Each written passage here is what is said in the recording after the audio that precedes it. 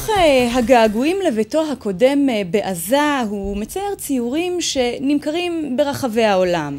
כתבנו אחמד אבו סוויס uh, ביקר עם אחד הציירים הערביים הבולטים בישראל, ושמע ממנו מה גורם לו לצייר.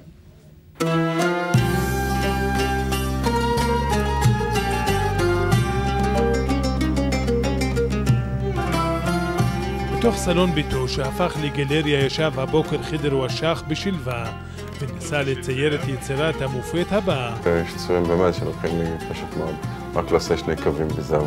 אני מרגיש בעצם שהציור גמור ויש הרבה עבודות כאלו שאני אה, בעצם מציג אותן, אבל יש כל מיני עבודות כאלו שהן לקחות בעצם אה, כמה שנים טובות, לא. נחשב לאחד הציירים הערבים הבולטים בישראל. הוא הגיע לרהט לפני כ-20 שנה במחנה הפליטים ברז' בעזה. מה שהתחיל בביקור משפחתי הפך לדבר קבוע. חדר השתקע ברהט, אבל הגעגועים הביתה מעולם לא עברו.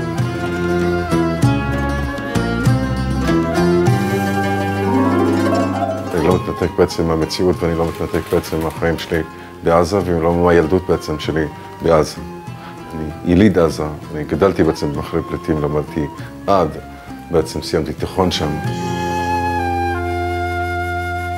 יצירת האומנות האחרונה עליה עבד חדר הייתה למוחמד אל-דורה, הילד הפלסטיני שנורה על פי הפלסטינים על ידי אחד מחיילי צה"ל.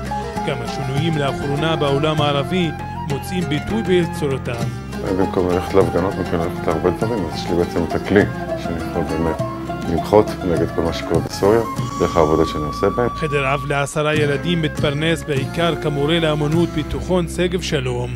את מאות יצירותיו הוא מנסה לשווק בתערוכות באירופה ומדינות ערב, אבל לא במגזר הערבי בישראל. הם לא קונים. לא קונים.